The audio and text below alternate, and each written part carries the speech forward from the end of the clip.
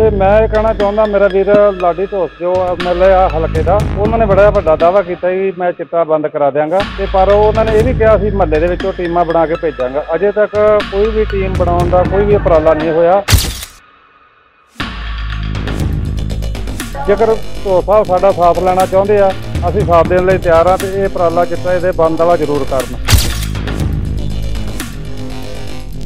ਖਬਰ ਲੈਂਦੇ ਮੋਗੇ ਤੋਂ, ਮੋਗਾ ਦੇ ਕਸਬਾ ਧਰਮਕੋਟ ਵਿੱਚ ਨਸ਼ੇ ਦਾ ਕਹਿਰ ਜਾਰੀ। ਨੌਜਵਾਨ ਦੀ ਨਸ਼ੇ ਦੀ ਡੋਜ਼ ਦੇ ਕਾਰਨ ਹੋਈ ਮੌਤ। ਮੋਗਾ ਦੇ ਕਸਬਾ ਧਰਮਕੋਟ ਦੀ ਦਾਣਾ ਮੰਡੀ ਵਿੱਚ ਨੌਜਵਾਨ ਨਸ਼ੇ ਦੀ ਕਰਕੇ ਮੌਤ ਦੇ ਆਗੋਸ਼ ਵਿੱਚ ਜਾ ਬੈਠਾ ਹੈ। ਦਾਣਾ ਮੰਡੀ 'ਚੋਂ ਮਿਲੀ ਲਾਸ਼ ਨੂੰ ਵੇਖ ਕੇ ਪਰਿਵਾਰ ਦਾ ਰੋ ਰੋ ਕੇ ਹੋਇਆ ਬੁਰਾ ਹਾਲ। ਚਿੱਟਾ ਪੰਜਾਬ ਵਿੱਚ ਰੁਕਣ ਦਾ ਨਾਮ ਨਹੀਂ ਲੈ ਰਿਹਾ। ਅਤੇ ਧਰਮਕੋਟ ਏਰੀਏ ਦੇ ਵਿੱਚ ਇਸ ਨੇ ਪੂਰੀ ਤਰ੍ਹਾਂ ਪੈਰ ਪਸਾਰੇ ਹੋਏ ਨੇ। ਚਿੱਟਾ ਸ਼ਰੇਆਮ ਵਿਕ ਰਿਹਾ ਹੈ। ਆਏ ਦਿਨ ਪੰਜਾਬ ਦੇ ਵਿੱਚ ਚਿੱਟੇ ਤੇ ਨਸ਼ੇ ਨਾਲ ਮਾਵਾਂ ਦੇ ਨੌਜਵਾਨ ਪੁੱਤ ਮਰ ਰਹੇ ਨੇ। ਸਰਕਾਰ ਵੱਲੋਂ ਕੀਤੇ ਦਾਅਵੇ ਜਿਹੜੇ ਆ, ਉਹ ਖੋਖਲੇ ਸਾਬਤ ਹੋ ਰਹੇ ਨੇ। ਪ੍ਰਾਪਤ ਜਾਣਕਾਰੀ ਦੇ ਅਨੁਸਾਰ ਬੀਤੀ ਸ਼ਾਮ ਧਰਮਕੋਟ ਦਾਣਾ ਮੰਡੀ ਦੇ ਵਿੱਚ ਮੁਹੱਲਾ ਖਾਈ ਦਾ ਰਹਿਣ ਵਾਲਾ ਇੱਕ ਨੌਜਵਾਨ ਕਾਰਤਿਕ ਪੁੱਤਰ ਟੋਨੀ ਸਿੰਘ ਉਮਰ 16 ਸਾਲ ਦੱਸੀ ਜਾ ਰਹੀ ਹੈ। ਨੌਜਵਾਨ ਦੀ ਨਸ਼ੇ ਦੇ ਨਾਲ ਮੌਤ ਹੋ ਮ੍ਰਿਤਕ ਕਾਰਤਿਕ ਦੇ ਚਾਚਾ ਤਰਸੇਮ ਸਿੰਘ ਨੇ ਦੱਸਿਆ ਕਿ ਕਾਰਤਿਕ ਬੀਤੀ ਸ਼ਾਮ 5 ਵਜੇ ਘਰੋਂ ਪੈਦਲ ਹੀ ਗਿਆ ਸੀ ਔਰ 6:30 ਵਜੇ ਸ਼ਾਮ ਨੂੰ ਪਤਾ ਲੱਗਾ ਕਿ ਕਾਰਤਿਕ ਦਾਣਾ ਮੰਡੀ ਦੇ ਵਿੱਚ ਮ੍ਰਿਤਕ ਪਿਆ ਹੈ। ਮ੍ਰਿਤਕ ਕਾਰਤਿਕ ਦੀ ਖਬਰ ਸੁਣ ਕੇ ਪਰਿਵਾਰ ਦੇ ਵਿੱਚ ਹੜਕੰਪ ਮਚ ਗਿਆ ਹੋਰ ਵੇਖਦੇ ਹਾਂ ਕਿਸ ਨਾਲ ਕੀ ਗੱਲਬਾਤ ਹੋਈ ਹੈ।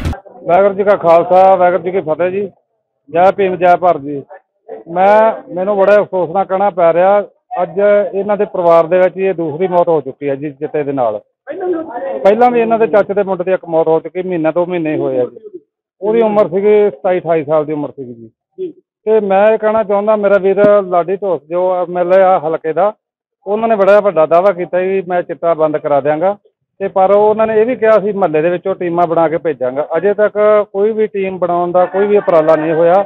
ਜੇਕਰ ਢੋਸ ਸਾਹਿਬ ਸਾਡਾ ਸਾਥ ਲੈਣਾ ਚਾਹੁੰਦੇ ਆ ਅਸੀਂ ਸਾਥ ਦੇਣ ਲਈ ਤਿਆਰ ਆ ਤੇ ਇਹ ਉਪਰਾਲਾ ਚਿੱਟਾ ਇਹਦੇ ਬੰਦ ਵਾਲਾ ਜ਼ਰੂਰ ਕਰਨ। ਅਹ ਕਿਤੇ ਨਾ ਕਿਤੇ ਇਹ ਨਹੀਂ ਹੈ ਕਿ ਆਪਾਂ ਨੂੰ ਤਾਂ ਸਾਥ ਨਹੀਂ ਦਿੱਤਾ ਜਾਂਦਾ। ਨਹੀਂ ਜੀ ਅਸੀਂ ਸਾਥ ਦੇਣ ਲਈ ਤਿਆਰ ਆ ਸਾਥੋਂ ਸਾਥ ਲਿਆ ਨਹੀਂ ਜਾਂਦਾ। ਨਾ ਕੋਈ ਪ੍ਰਸ਼ਾਸਨ ਨੇ ਅੱਜ ਤੱਕ ਮੇਰੇ ਤੋਂ ਕੋਈ ਸਾਥ ਮੰਗਿਆ। ਮੈਂ ਸਾਥ ਦੇਣ ਲਈ ਤਿਆਰ ਆ ਮੈਂ ਮੇਰਾ ਮੇਰੀ ਸੁਰੱਖਿਆ ਯਕੀਨੀ ਬਣਾਈ ਜਾਵੇ ਤੇ ਮੈਂ ਸਾਥ ਦੇਣ ਲਈ ਤਿਆਰ ਆ ਮੈਂ ਮੈਨੂੰ ਮੈਨੂੰ ਲੱਗਦਾ ਕਿਤੇ ਨਾ ਕਿਤੇ ਆਪਾਂ ਡਰ ਜਾਂਦੇ ਆ ਪਰਿਵਾਰ ਨੂੰ ਦੱਸਦੇ ਨਹੀਂ ਕਿ ਤੁਹਾਡਾ ਬੇਟਾ ਨਸ਼ਾ ਕਰਦਾ ਕਿਤੇ ਉਹ ਸਾਡੇ ਗੱਲ ਨਾ ਪੈ ਜਾਣ ਨਹੀਂ ਜੀ ਡਰ ਵਾਲੀ ਗੱਲ ਕੋਈ ਨਹੀਂ ਹੈਗੀ। ਪਰ ਕਿ ਮੰਨ ਲੈਂਦੇ ਤੁਹਾਡੀ ਗੱਲ ਕਿਤੇ ਨਾ ਕਿਤੇ ਅਗਲਾ ਗੁੱਸਾ ਕਰਦਾ ਸਾਡੇ ਮੁੰਡੇ ਤੇ ਇਲਜ਼ਾਮ ਲਾਉਂਦੇ ਨੇ। ਪਰ ਮੈਂ ਕਹਿੰਦਾ ਮੈਨੂੰ ਅਹ, ਕੋਈ ਅਹ, ਪ੍ਰਸ਼ਾਸਨ ਸੰਯੋਗ ਦੇਵੇ ਮੇਰਾ ਤੇ ਮੈਂ ਸਾਥ ਦੇਣ ਲਈ ਤਿਆਰ ਹਾਂ ਜੀ। ਜਿਹੜਾ ਤੁਸੀਂ ਹੁਣੇ ਹੁਣੇ ਮੇਰੇ ਕੋਲੇ ਇਹ ਪ੍ਰਸ਼ਨ ਕੀਤਾ ਹੈ ਕਿ ਜਿਹੜੇ ਬੱਚੇ ਦੀ ਡੈਥ ਹੋਈ ਆ ਨਸ਼ੇ ਦੇ ਕਾਰਨ ਇਹ ਇਹ ਬਹੁਤ ਮਾੜੀ ਘਟਨਾ ਹੋਈ ਆ ਜੀ। ਇੱਕ ਨਹੀਂ ਇਸ ਤੋਂ ਪਹਿਲਾਂ ਵੀ ਤਕਰੀਬਨ 10 10 15 ਦਿਨ 2 ਮਹੀਨੇ ਪਹਿਲਾਂ ਵੀ ਇੱਕ ਐਸੀ ਹੀ ਘਟਨਾ ਵਾਪਰੀ ਹੈ। ਉਹਦੀ ਵੀ ਨਸ਼ੇ ਦੇ ਨਾਲ ਹੀ ਟੀਕਾ ਲਾਉਣ ਦੇ ਨਾਲ ਉਹਦੀ ਵੀ ਜੋ ਇਹ ਮੌਤ ਹੋਈ ਹੈ। ਇਹ ਇੱਕ ਬੜੀ ਹੀ ਦੁਖਦਾਈ ਘਟਨਾ ਜੋ ਅੱਜ ਹੀ ਸਾਡੇ ਮਹੱਲੇ ਦੇ ਵਿੱਚੋਂ ਕ੍ਰਿਸ਼ਨ ਸਿੰਘ ਜੀ ਜਿਹੜੇ ਅੱਜ ਨੌਜਵਾਨ ਦੀ ਮੌਤ ਹੋ ਗਈ ਉਹ ਤੁਹਾਡਾ ਕੀ ਲੱਗਦਾ ਸੀ? ਸਾਡਾ ਭਤੀਜਾ। ਭਤੀਜਾ ਸੀ, ਕੀ ਗੱਲ ਪਤਾ ਨਹੀਂ ਲੱਗਿਆ ਕਿ ਇਹ ਨਸ਼ਾ ਕਰਦਾ ਹੈ ਜਾਂ ਕਿਵੇਂ? ਸਾਨੂੰ ਇਹ ਨਹੀਂ ਪਤਾ ਸੀ ਪਰ ਅਸੀਂ ਮੰਡੀੋਂ ਚੱਕ ਕੇ ਜਾਂਦੇ ਸੀ ਮੰਡੀ ਚੱਕ ਕੇ ਲਿਆਂਦਾ ਕੀ ਨਾਮ ਹੈ ਜੀ? ਨਾਮ ਕੀ ਹੈ ਮੁੰਡੇ। ਠੀਕ ਹੈ ਜੀ। ਤੇ ਕੀ ਨਾਂ ਸੀ ਬੱਚੇ ਦਾ? ਬੱਚੇ ਦਾ ਨਾਮ ਸੀ ਕਾਰਤਿਕ ਉਮਰ ਕਿੰਨੀ ਸੀ ਉਮਰ ਸੀ 15 16 ਸਾਲ ਕਦ ਤੋਂ ਨਸ਼ਾ ਕਰ ਰਿਹਾ ਸੀ?